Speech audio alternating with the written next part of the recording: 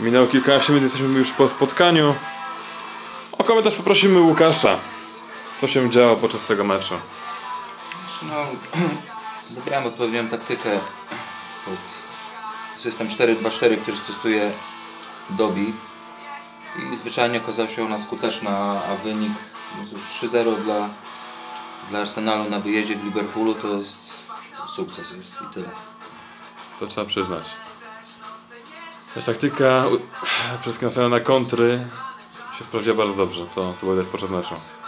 Gdzie przewagę optyczną mo- być może miał Liverpool, ale jednak klarownej akcji więcej miał Arsenal. Czy mi jest ciężko zamówić za Krzysztofa, jaki on miał plan taktyczny na ten mecz, ale pewnie taki jak zawsze, czyli atak non-stop, a ja po prostu się tego spodziewałem, że będzie atak non-stop i, i tyle. I...